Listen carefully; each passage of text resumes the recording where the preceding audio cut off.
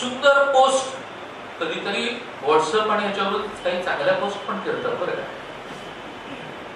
तशी एक शिवतंत्र नावाच्या एका पुस्तकातली दत्ता सोनवणेंनी लिहिलेली. एक खूप छान पोस्ट वाचनात आली.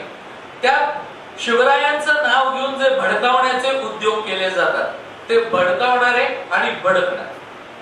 या दोन्हीची तुलना त्यांनी जी केली आहे ती मला सांगण्याचा मोह आवरत नाही म्हणून फक्त ती आपल्यासमोर की त्यांनी असं सांगितलं की भडकावणारे हे कसे असतात माहिती का? ते दारू विक्रेत्याप्रमाणे द्वेष विकत असतात आणि भडकणारे तो द्वेष पीत राहतात. दारूची नशा उतरते कालांतराने पण द्वेषाची नशा मात्र चढत्या श्रेणीने चढतच राहते. दारू विक्रेता जो असतो तो बंगले बांधतो आणि दारू पिणारा मात्र भिकारी होतो. भडकवणारे मोठे होत जातात. आणि भडकणारे बर्बाद होऊन जातात. शिवरायांचं नाव घेऊन भडकावणाऱ्यांची मुलं स्टडी मध्ये असतात. भडकावणाऱ्यांची भडकणाऱ्यांची मुलं कस्टडीमध्ये असतात. जे भडकावत राहतात त्यांची मुलं परदेशामध्ये शिक्षण घेतात आणि भडकतात त्यांची मुलं देशी पिण्याचे शिक्षण इथेच घेतात. त्यांची मुलं भडकावणाऱ्यांची मुलं ही विमानातून फिरतात. भडकणाऱ्यांची मुलं चलो गाडी में बैठो दस रुपया बीस रुपया तीस रुपया. मुंबई पुन्हा गाडी भरली की लगेच सोडतो साहेब. अशी कामं करत बसतात.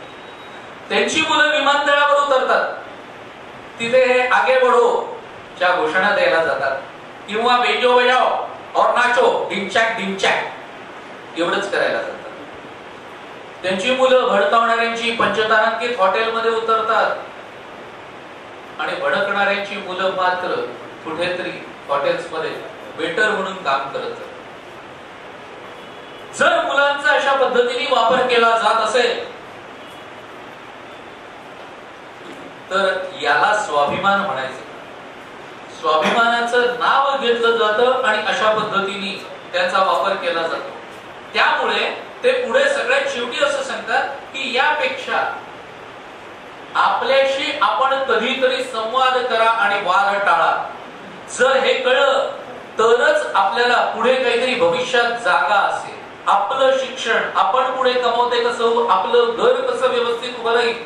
याचा विचार करा. तो विचार जर केला गेला नाही तर हे असंच होत राहणार. भडकावणारे अधिक मोठे होत जाणार आणि भडकणारे मात्र अधिक खाली खाली जाणार. भडकावणारे ज्या वेळेला तुम्हाला भडकतात त्यावेळेला त्यांना किमान ठणकावून सांगा की आधी तुमच्या पोरांना उतरवा मग आम्ही आहोतच